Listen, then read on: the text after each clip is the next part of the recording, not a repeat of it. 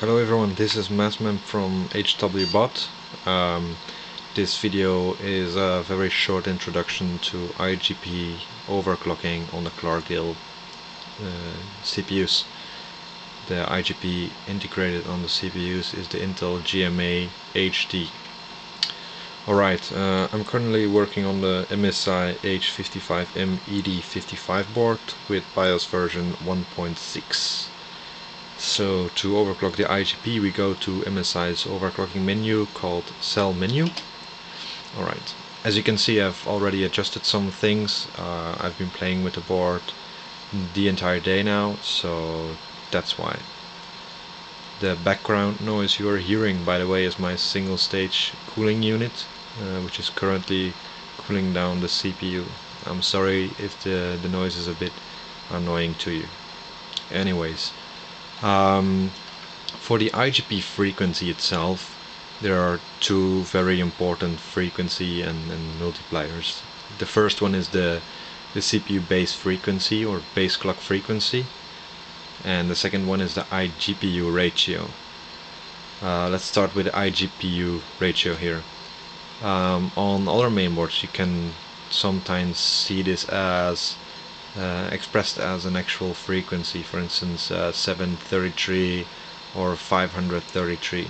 Now MSI is probably the only mainboard manufacturer that really grasps how the, the IGP is working inside the Clarkdale CPU. Basically the, the IGP frequency is um, is um, relative to both uh, the IGPU ratio you're setting and the CPU base clock frequency so uh, this is this is the ratio working kind of like the CPU ratio and this is the CPU base, fre base frequency. If you want to increase the IGP frequency you can go up and down with the BCLK or you can go up and down with the iGPU ratio. Um, next to that we also have to take into account the memory frequency because the IGP on the Clarkdale CPU has no dedicated memory. It's taking the memory resources from the system memory. This means that if you overclock your system memory too high you will have uh, an IGP crashing in 3D not stable in, in other words. Just keep that in mind. Uh, okay. The last thing is the voltages uh, obviously the GPU voltage is the, the main voltage you will be adjusting when overclocking the, the IGP but you also have to take into account that CPU VTT and the PCH 1.05 volt might have to be adjusted for the simple reason that um, the memory controller and the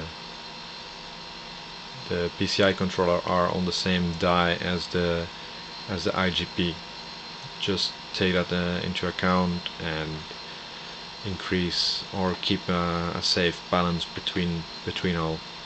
Um, concerning the, the iGPU frequency, I've been able to hit roughly 1.1 gigahertz on air cooling and with this single stage cooling unit I've been reaching up to 1250. Um, from my experience the most important uh, factor determining the, the, the IGP frequency stability is, is the voltage. So you will need to push uh, push the voltages if you want to reach 1300 or maybe even 1400.